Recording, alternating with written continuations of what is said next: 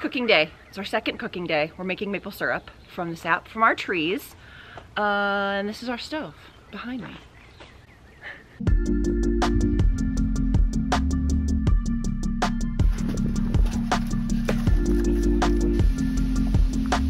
This is our first year in this house, so we super don't know what we're doing, but we are trying and learning.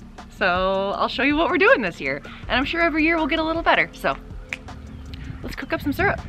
We moved into the new house last summer in 2021. It's in northwestern Wisconsin and it's surrounded by 65 acres of trees and the back corner has about 100 sugar maples in the maple grove.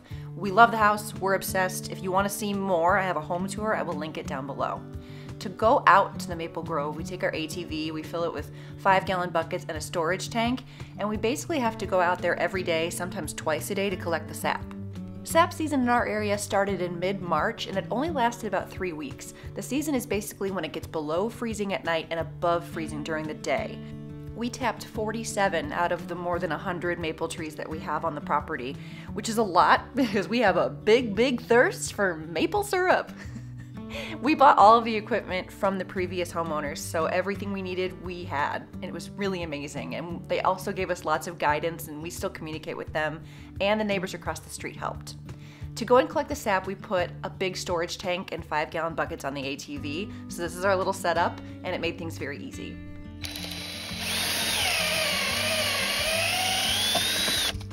Oh, yeah, she stopped me. File over Look there, at Nova. Dripping out. Ooh, can I have some? Well, first let's get this. Here, get the hammer. Get the hammer. Oh, hammer. Where? He's like, ah! He's like, oh, oh, baby, that hurt. Drip, drip, drip. He, that's his blood. Put it on there. Can't you feel its pain? It's pain? Once the trees are tapped, we put these collection bags hanging on the spiles, and they're so cool. If you listen carefully, you can hear the sap dripping into the bags. There's a hole on the back of the metal piece that you hang on the spile, and then the spile goes right through that, and the sap drips directly into the bag. And you have to go out there every day, sometimes twice a day, to collect the sap. If it gets really warm, it like shoots out, and the bags fill up really fast and overflow. It takes a lot of time to collect all the sap every day, fill up the buckets, go to each tree. Sometimes it takes multiple trips if the trees really produce a whole lot. It's definitely time consuming and a family affair, but it was really super fun. I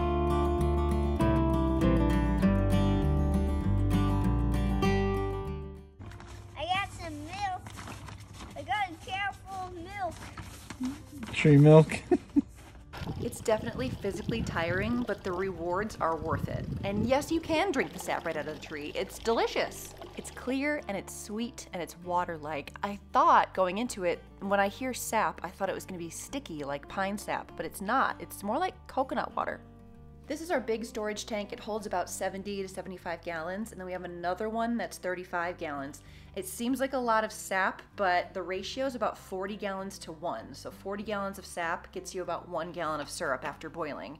We filter it through a fine metal mesh filter before putting it into the storage tank. And then once we hit between 70 to 100 gallons, it's time for a boil. On a day that we were gonna boil, we would filter it again through a fine fabric mesh filter, and then we take those buckets and dump them into the big boiling stove. The stove can hold about 30 gallons at a time, and my husband did actually optimize this with hoses and pumps so he never had to lift a bucket again, but it does look really good. Let me tell you about the stove. So it's under this overhang so we can boil rain or snow. The whole thing comes apart and can be stored in the garage after the season is done. It's a wood burning stove, so the wood goes in this door.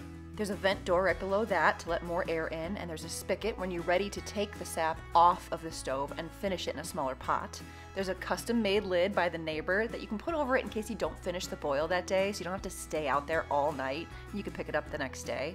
I'm trying not to talk your ears off, but basically we boiled about 100 gallons at a time, and we ended up doing a boil about two to three times a week for three or four weeks. And you boil it all day and reduce it to the point that you want it, and that takes about 12 hours. So basically, the day consists of boiling that 30 gallon pan of sap, and there's a 5 gallon warming tank on top of that. You slowly add in that 5 gallons as it's boiling, and then you reduce the sap.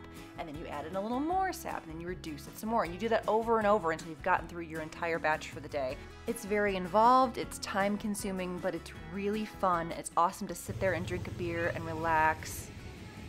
Watching and waiting. As the day goes on, it starts to get a little darker in color, and you can see it getting a little thicker, and it smells incredible. It's been 84 years. When you get down to the end of your boil, you need to check it with this hydrometer and check the density so you don't leave it on too long. Okay, it did move a little. It's syrup when it gets when it's floating like that.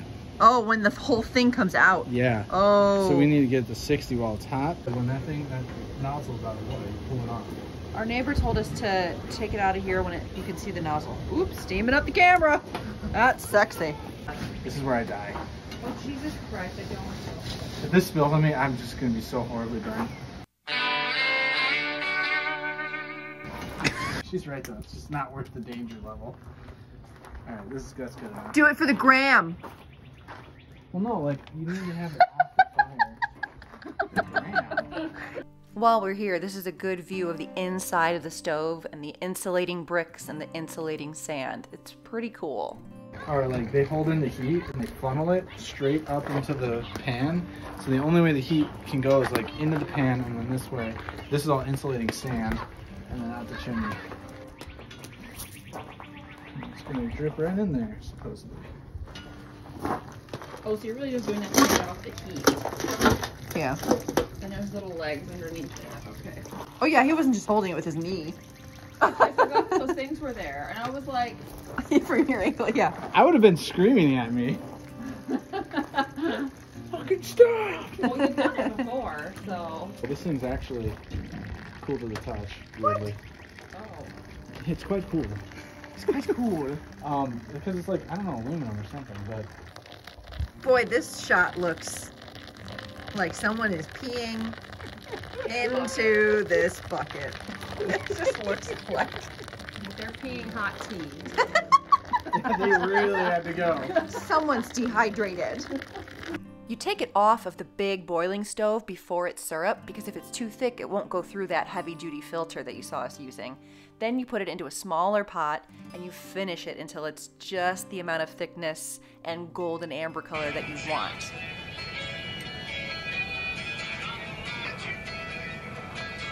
Good corn liquor. I don't know why I think it's gonna be more done after like one minute. I'm antsy.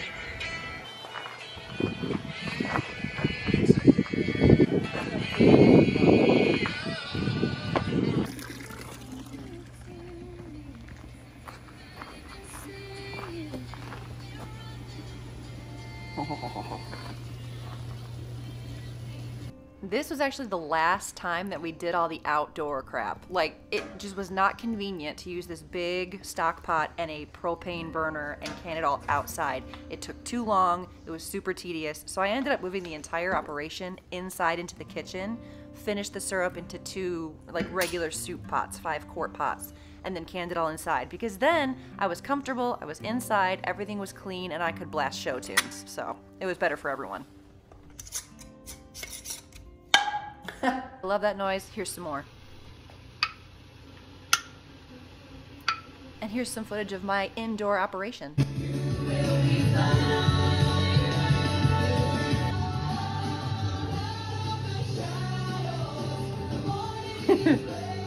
Made some funny labels from Vistaprint.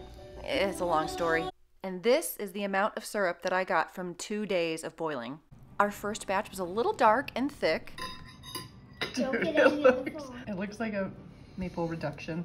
But it was seriously so delicious. And after that batch, we got that perfect golden amber we wanted. And after gifting some and eating some, this is our haul. And I think this should get us through 2022. we'll see.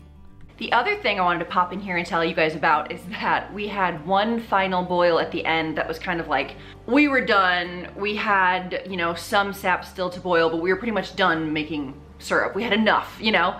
And we still had some sap to boil, so my husband boiled it and is turning it into wine. Here is our science experiment of making maple wine and our stash of syrup. Again, we don't know what we're doing. My husband knows what he's doing, but he has beer making equipment and used to make his own beer. He hasn't done beer in a while because the older you get, you know, the more heartburn and beer bloat. it's very similar to making mead, which is honey wine, but basically instead of honey, we're using syrup. I have no idea if it's gonna taste good or how it's gonna turn out, but we will let you know. I will update and let you know how the syrup wine, the maple wine turns out. Maybe it will suck. I'll keep you posted. Thank you all so much for watching my weird video about making maple syrup in my backyard. I hope you enjoyed it. I live here solely to entertain you, so let me know if you liked it. Feel free to like and subscribe and leave me a comment. I read every comment on all of my videos, even the ones that are clearly from robots and are not real people. And so if you have any questions, ask me. I will see it and I will answer. Thanks again for watching. I'll see you guys next time. Bye-bye.